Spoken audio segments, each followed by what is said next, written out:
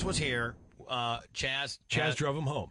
had the distinct honor of bringing him home. Right. So he brought him home, and uh, apparently, uh, Blind Lawrence's dad sort of, I don't know, kind of like yelled at Chaz in a weird kind of way of like he Kinda doesn't like. promo? Yeah, he doesn't like the way that his son is being portrayed and how. Well, uh, that was now that was freshly after his appearance when we were talking about how Blind Lawrence had made an announcement that he won't date black girls or Jew girls, yes, Right. and and. uh, and that's what we had. Blind, or uh, or blind girls. or blind girls, and we had it. Now we had him in the studio, and we discussed that, yes, we did. Yeah. and we found it a little bit odd how a guy, you know, who, how he could be so picky.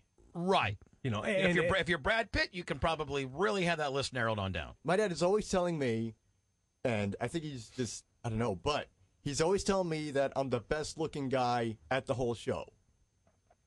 Your dad's as blind as you are.